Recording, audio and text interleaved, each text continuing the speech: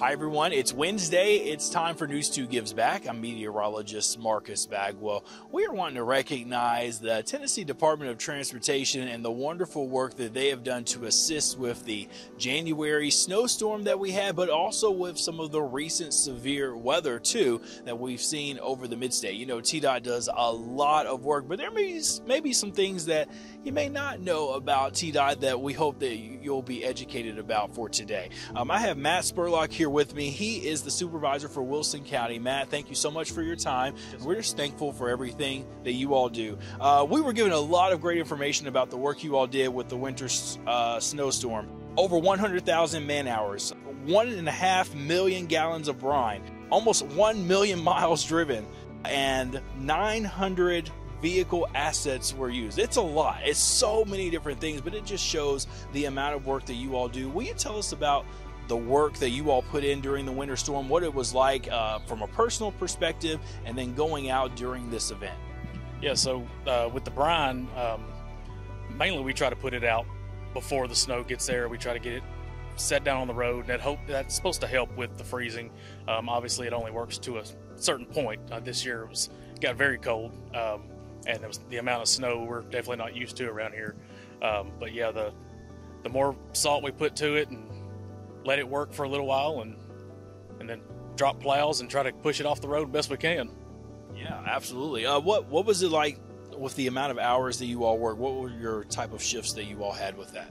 So uh, it it got very tiring. I think it lasted close to five days, five and a half days. Uh, we we worked 16 eights, um, and that includes bringing trucks in, have to refuel, you have to clean them off if the snow's starting to freeze to the lights, um, and even changing blades on plows. I mean, we, we went through a lot of plow blades this year. So, wow, that is a lot. Uh, tell us about the difference between what would be considered a city road and a county road. What's one way that you would describe that for somebody like me? I don't necessarily understand that, but how does that work? How does that work for you all? So, most all state routes are pretty recognizable. A lot of them are interstates. Um, there are smaller roads that we have, um, and they will be labeled with the like you have 266, 267. Um, you have certain roads there. You'll always see the SR before them if you're looking on a map or something like that. They'll show state route. Um, normally they're bigger roads, um, but there are a few smaller roads that we do have, and and they they definitely can give us a little bit of a headache sometimes. Do you all do any of the U.S. routes? Who who's responsible for that? Is that you all too? Yes, that's us too. Okay. Okay. Good. Good. All right. And let's talk about most recently.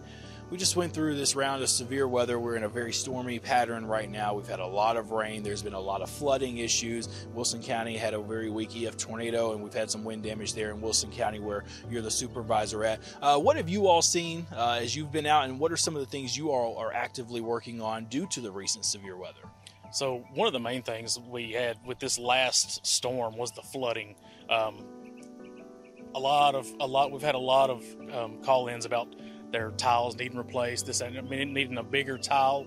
Um, and I've I've tried to express to the people that you know nothing's going to prepare us for a for eight inches that quick.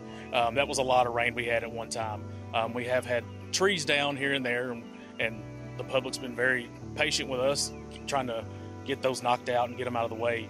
But um, yeah, it's, it's it's mainly the flooding from this last one that really causes some issues that we're going to continue to address in the next in the upcoming weeks. Sure, absolutely. And just for perspective, some areas picked up six, seven, eight inches of rain in a very short period of time. We're talking less than 48 hours, so it was a lot.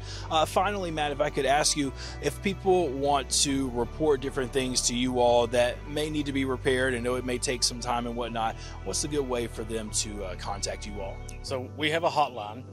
It's 833 T dot fix, um, and you can you'll call that number. You'll get an actual person. You'll talk to an actual person that can also direct you to the right area, whether it be um, the county that that is that you're in, that is on the state route that you're on, or if you know if you're on a county road, they can redirect you to that county.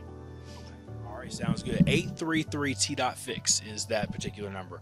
Matt, thank you so much for your time. Yes, sir. We're Thank thankful for all of the work that you all do each and every day, and we are excited uh, to bring them lunch today here in Sumner County. We're uh, in Gallatin uh, here at their District 37 North uh, headquarter area, but they do wonderful work all across the Middle Tennessee area. So if you see a TDOT uh, person out there, make sure you tell them thanks. They do some great work for us. All right, all this was brought to them by Nashville Subaru. I'm News 2 meteorologist Marcus Bagwell. Thanks for taking time to watch. News 2 gives back.